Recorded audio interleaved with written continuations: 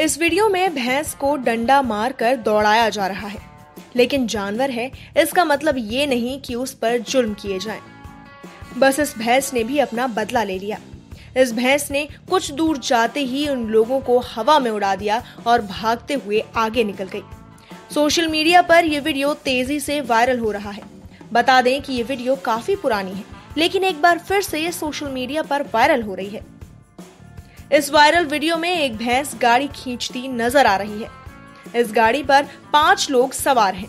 लोग भैंस को बार बार डंडे से मारकर उसे तेज दौड़ने के लिए मजबूर कर रहे हैं। तभी सड़क के डिवाइडर से गाड़ी टकरा जाती है और गाड़ी पलट जाती है। सिर्फ़ इतना ही नहीं, उस पर बैठे हुए ये पाँच लोग भी हवा में उड़ते हुए ज़मीन पर गिर जाते हैं और भैंस दौड़ते दौड़ते आगे निकल जाती है। इस वीडियो को ट्विटर पर हज़ारों लोग शेयर कर चुके हैं और अब तक 1.9 मिलियन से ज़्यादा लोग देख भी चुके हैं। इस वीडियो को वरुण सिंह ने ट्विटर पर शेयर किया है। साथ ही कैप्शन में लिखा है, भैंस ने बेहद अच्छे तरीके से अपना बदला लिया। आपको बता दें कि ये वीडियो काफ़ी पुरानी है, लेकिन फिर भी लोग इसे पसंद कर रहे हैं।